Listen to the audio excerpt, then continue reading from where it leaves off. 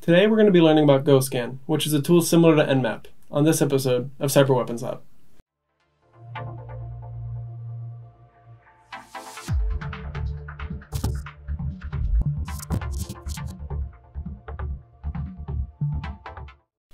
GoScan is an interactive framework which can automate many Nmap tasks, such as doing a complete port scan of a local network.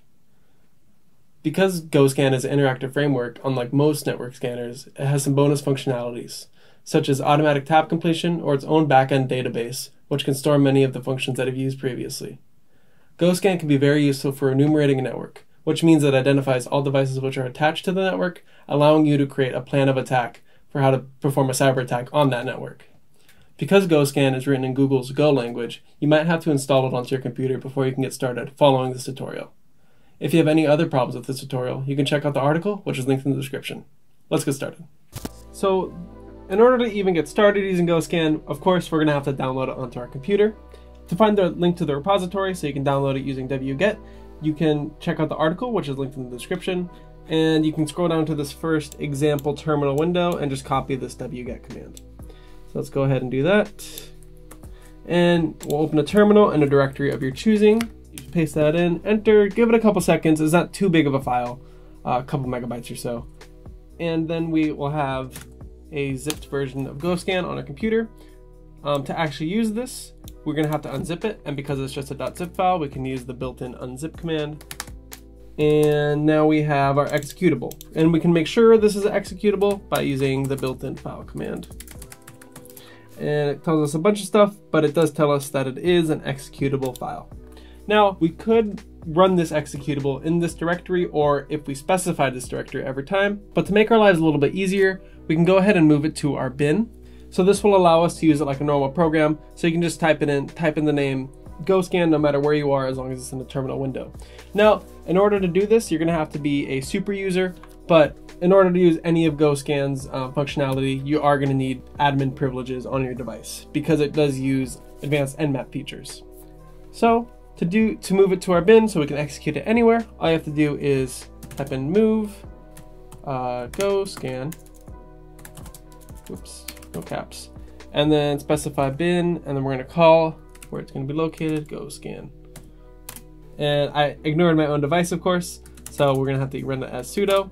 And just a quick tip, these two exclamation marks, this just tells your computer to insert the previous command in place of these two exclamation marks. So this is really saying sudo move go scan bin yada yada yada.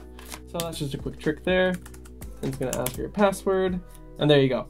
So now you can just type in go scan and of course you'll need sudo and there you go. We're now in the um, GoScan interactive window. So now that you're in the go scan interactive shell, we can go ahead and start inputting commands. Of course, the first thing we're always going to do is look for help. So if you just type in H, you can see that the um, tab completion um, suggestion comes up. So just because it typed in H, it realizes the only command that uh, starts with the H is help, and then it gives a brief description of that command. So I'm gonna just press tab to complete that. And it's gonna show the various utilities that um, are built into GoScan. And it's a bunch of different like Nmap tools and different network capabilities. So after you can you can uh, look through the help, what help returns, we can actually load a target into the GoScan database, save it there, and we can actually uh, play around with it.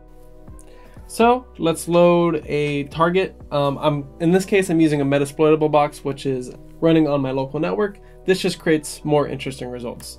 So to save a target on to GoScan, you can type in load, and then it's going to recommend the three things that could come after that. So we're going to uh, specify a target address, and we're specifying a single a single target and we're going to type in the IP address of that target. So it's going to be 192.168.56.102 and it imported that target. So now let's do a ping sweep on this target. So to do that, you can just type in sweep ping and then as you can see, it saved 192.168.56.102 to the database. So if you just press tab three times, you'll get it there. And it's also, you could also sweep all the targets you have saved, or you can just sweep the targets that haven't had a ping sweep yet. So because there's only one target, I'm just gonna specify that one. And it's gonna do two things. It's gonna show, it's gonna actually show the nmap command that it's using. In case it's not working for whatever reason, GoScan, you can go ahead, open up a new terminal window, try it there. And it's also gonna print a, um, some verbose response of what it's actually doing. So as you can see, because there's only one target, it didn't actually take that long, and it's not that intensive of a uh, scan, and it's going to tell you where it saved at. So we can go ahead, copy this directory, and open a new terminal window. Because this is in the root folder, you are probably going to have to become a super user, so I'm to go ahead and do that. And hopefully put in my password in right. and I'm going to paste in that directory, and we're going to change directories there. So as you can see, it has the only folder in there currently is the name of the target that we were just analyzing. So let's change directories to 192 and it specified sweep. And now you can see we have results for the last sweep that we just did. Um, and they're saved in three different formats. Let's go take a look at the XML format.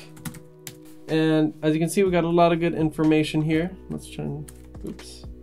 Um, such as when the sweep was conducted, the IP, the MAC address, what kind of response it was, and various information like that. Because this is only a ping sweep, this is just basically checking that that system exists. So we don't get too much interesting stuff there. So let's go ahead, exit out of that.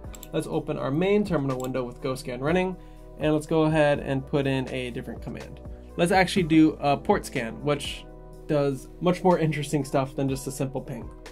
So to do a port scan, you can type in port scan, port scan and then we're gonna do a TCP scan. So basically that's a transmission control protocol. Basically any port that two computers use to communicate with each other. So this could be port 22, which is SSH or secure shell, port 25, which is SMTP, which is used for email communication, port 80, which is usually for HTML and like um, forward-facing websites, stuff like that. And the list goes on and on and on of all the different TCP scans that are used to communicate with each other. And obviously, this is stuff you'd be interested in if you're scanning a network and um, want to see what's on the network and how you can talk to it. So there's a few different kinds of uh, TCP scans. There's a full TCP scan, which will do basically every known TCP port. And then, but today we're just gonna do a standard TCP scan, which is gonna only scan the top 200 ports with TCP protocols. So we're gonna specify TCP hyphen standard, and then we're gonna scan again that last address. And it's gonna take a couple seconds because it's doing a pretty big scan. So that took a couple minutes just because it was scanning 200 different ports. But now that we have that done, we can go ahead and open up our terminal which is a super user. Oops. And if we go back up and go back to the IP address we were using, now we can see that there's a new folder called port scan. So let's go ahead and navigate into there. And let's open up that XML file again. I'm gonna zoom out a little bit. And as you can see, we have a whole um, lot more interesting information such as the different ports it scanned and the um, whether it was open or not. So basically open means go ahead, you can try to connect to me. I may or may not have a password, but I am open for service. And you can see port 53 was filtered. Um, and that basically means it may or may not be open, just that device is not broadcasting whether or not it's open. So there's a whole lot of in interesting information you can go ahead and gain from this to understand what devices are on your network and what ports are available on those devices. If you like this tutorial, be sure to check out our website, where we have hundreds of free articles and videos, as well as premium paid content like the Ethical Hacking Certification Bundle, which features pen testing with OWASP ZAP, WordPress hacking and hardening, and the CompTIA Cybersecurity Analyst prep course. Check out the link in the description below. As we just saw, GoScan can do many of the things that Nmap can, just much simpler and much more user-friendly. It's important to note that you should only use GoScan on networks that you have access to use. If you have any problems with this video, you can check out the article, which is linked in the description. If you have any ideas for a future video, hit me up at Twitter at Nick Godshall. Thank you guys for watching, and I'll see you guys next time.